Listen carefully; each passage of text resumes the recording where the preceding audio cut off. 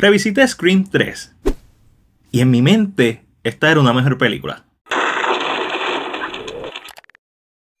Dirigida por Wes Craven de un guion de no Kevin Williamson, sino de Erin Kruger, nada relacionado con Freddy Krueger.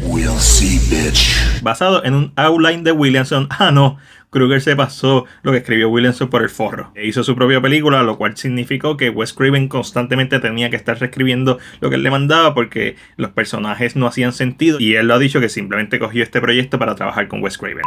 Protagonizada por Dave Arquette y en ese entonces Courtney Cox, Arquette como Dewey y Gail Weathers. Y en el último acto por Sidney Prescott, Nave Campbell, que en esta película toma el backseat como personaje hasta el último acto, ya que su contrato era para filmar solamente 20 días, así que Dewey y Gale básicamente son los verdaderos protagonistas de esta película, lo cual no es ni bueno ni malo, pero la ejecución pudo ser mejor. Algo que sí me gustó del personaje de Sidney Prescott es que es básicamente el arquetipo de los Legacy Sequels sin saberlo, ya que la vemos recluida en su casa a la misma vez que está ¿verdad? utilizando su experiencia para ayudar a otras personas. Ella básicamente es una consultora de teléfono de personas con trauma, de mujeres específicamente con trauma. Y eso me encantó y me hubiera gustado que se explorara más.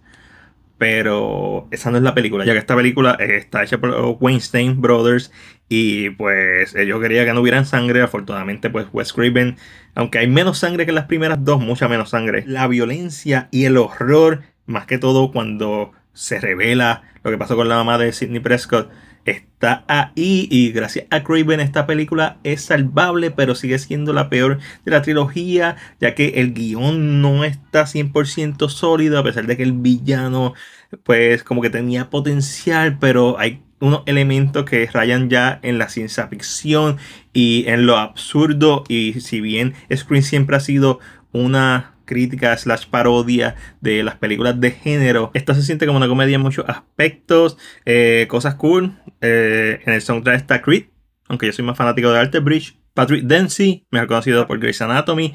Sale aquí como el detective Mark Kincaid. Si tú nunca has visto la película, pues quién es el ¿verdad? ¿Quién es el villano o quiénes son los villanos? Sigue siendo uno de los aspectos más interesantes de esta historia. No al nivel de parte 2 ni parte 1, específicamente de parte 1, pero sí sigue siendo parte interesante de la historia. Lamentablemente los personajes que mueren en estas películas, que básicamente son los, la mayoría son los actores de esta 3, que la parte de la crítica a Hollywood está ahí, sigue siendo efectiva. La escena cuando una de las actrices se esconde en donde están los vestuarios de Ghostface y básicamente vemos esta escena en donde él sale, en uno piensa que es un, ¿verdad? un vestuario y es el estilo Ice Robot, pero antes de Ice Robot. Pero ese juego del gato y el ratón está ahí, pero no es tan efectivo porque ciertamente se nota que uno de los personajes estaba puesto para que fuera el asesino y eventualmente lo quitaron en edición. Otra de las cosas cool es que los nombres de los actores, ¿verdad? Que interpretaban a los personajes de Scream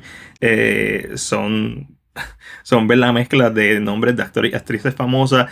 Tenemos a Angelina Taylor, que es la que hace de Sidney y quien en teoría se supone que fuera la segunda asesina. Jennifer Jolie, otra, que es la que hace de Gale. Y hay un momento en donde las dos Gale están y se encuentran con Carrie Fisher.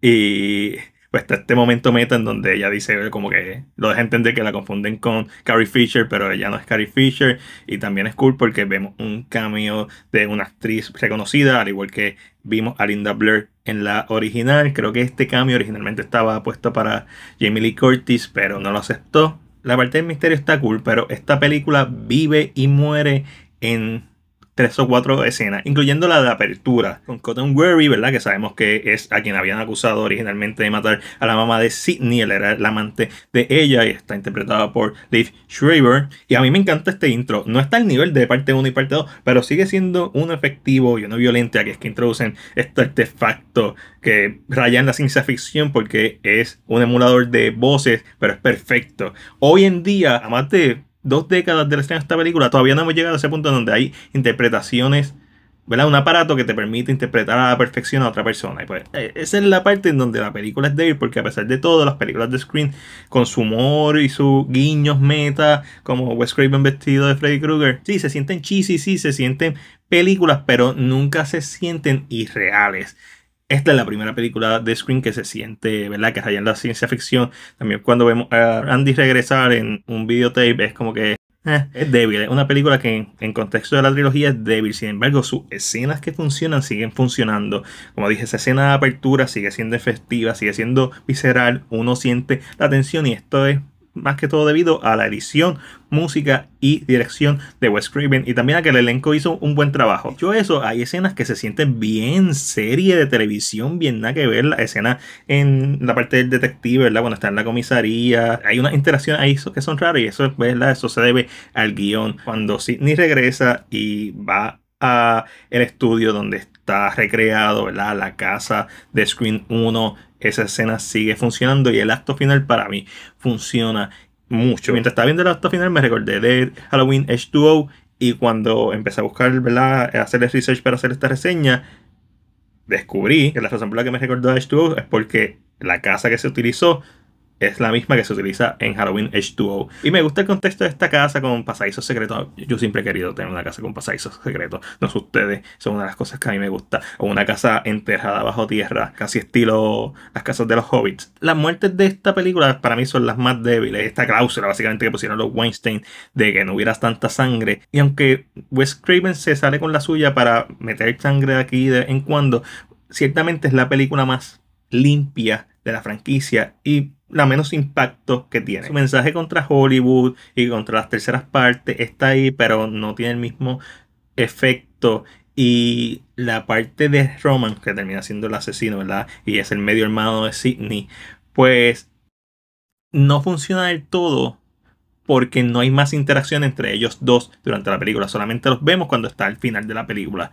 Y la escena está bien buena, porque está bien buena, eso no lo negamos, pero pudo ser mejor. Hay muchas razones. El hecho de que Neve Campbell no estuviera por toda la duración de la película, lo cual hizo que, ¿verdad? Lo obligó a que ella no fuera la protagonista per se del filme. Obviamente afecta a la historia un montón. Pero aún así aquí vemos glimpses de, de brillantez y sigue siendo una película que honestamente para ser la tercera de una trilogía y en las circunstancias que se hizo, con todos los obstáculos que se hizo, con Williamson no volviendo porque estaba mega ocupado haciendo mil proyectos y con Kruger pasándose el outline que le dio Williamson por el forro, aún así sigue siendo quizás no un cierre memorable para una trilogía, pero un cierre. Afortunadamente, Wes Craven, muchos años después, decidió hacer Scream 4, que es, para contexto de, ¿verdad? de lo que esta franquicia es, es una mejor secuela que la parte 3, pero sigue habiendo parte de mí que disfruta muchos elementos y sigue habiendo partes para mí que funcionan.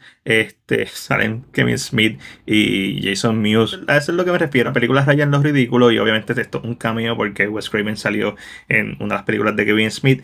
Pero la película casi es más meta que New Nightmare. Y New Nightmare es bien meta. Y New Nightmare es la versión no refinada de Screen. So se siente como un retroceso en la franquicia.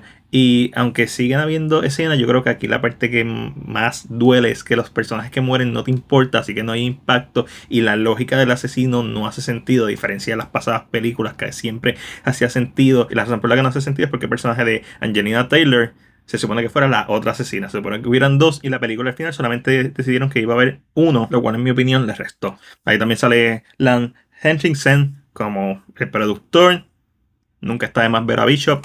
Ahí tengo Alien Fate of the Nostromo. Y quizás una de las partes que a mí más creo que sigue funcionando, no del todo, por, ¿verdad? por cómo está escrita la película, pero que me sorprendió, es cuando hablan de la violación de la mamá de Sidney Prescott. Y eso es aterrador la película logra ser aterrador en momentos y con los temas que explora, pero como no tienen tiempo de explorarlos a capacidad, ya sea porque su personaje con los que, ¿verdad? Que el que se supone que lo explore no está y lo que está en su casa teniendo pesadillas randommente que sirven para mover la trama, aunque eso no haga sentido. Eso le afecta mucho, definitivamente. Y no es que Dave Arquette y Okornikov hicieron un mal trabajo, ella con sus bangers horribles, pero es que tampoco son los mejores personajes escritos en esta versión. Aún así me gusta pero mucho menos que las otras dos de la trilogía. Así que entre lo bueno, lo malo y lo que yo le voy a dar a Scream 3 una C. Pero esa es solamente mi opinión. Ahora déjame saber la tuya en la sección de comentarios. Como siempre, si te gustó este video, dale like y compártelo. Recuerda suscribirte a nuestro canal de YouTube y darle a la campana de notificaciones para que no te pierdas nuestro contenido. Este fue Mac de CinePR y será hasta la próxima.